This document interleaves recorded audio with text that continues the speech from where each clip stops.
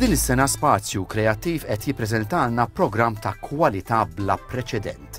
Kollaborazzjonijiet li wħud minnhom qed jittellgħu ma' entitajiet barranin għall-ewwel darba.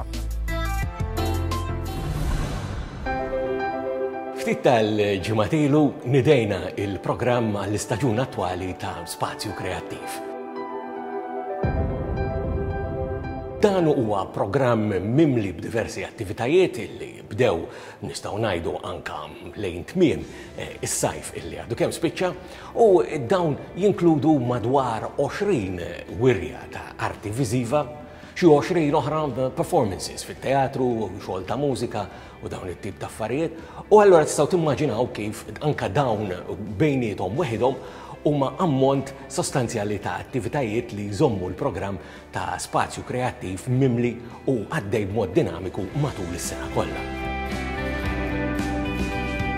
Però ma dawn inżidu kollha aħna fil-ċinema tagħna 400 ehm, screening ta' films differenti, tipi ta' films li ivarjaw minn films ġodda anka inkluż dawk li minn hawn ftit ieħor ikunu nominati għall-Oscars, imma anka eh, films ta' arti, films artistiċi u eh, performances ukoll tal-Bolshoi pereżempju minn Moska, eh, tal-Metropolitan Opera minn New York, jew inkella anka tan-National Theatre minn Londra.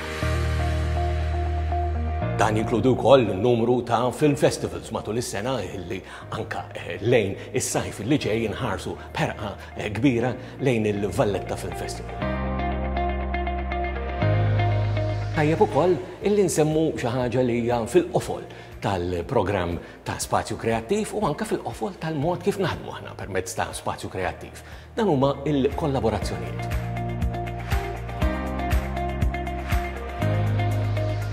Aħna nikkollaboraw ma' diversi entitajiet pubbliċi eh, sew f'Malta kif ukoll anke barra minn Malta. Per eżempju, għas-sajf li ġej diġà qegħdin inħejju ehm, mwirja li tinkludi diversi artisti Maltin eh, fil-Ġermanja ehm, illi hija l-Ostrale. li torbot ukoll ma' xogħol li għamilna b'kollaborazzjoni ma' din l-organizzazzjoni Ġermaniża matul is-snin li għaddew.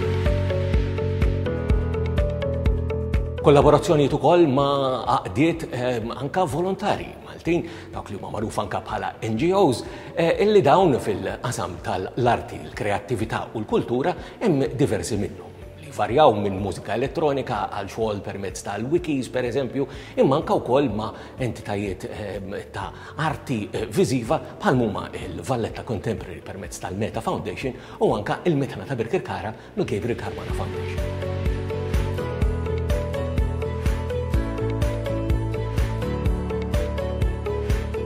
Kollox ma kollox, il-programm ta' Spazju Kreattiv Jorbot ukoll ma' diversi artisti illi jiġu minn barra minn Malta anke biex jagħmlu residenza f'Malta u f'Għawdex bħala parti mill-programm ta' Spazju Kreattiv. Matul l-istaġun attwali dawn għandna seba' minnhom.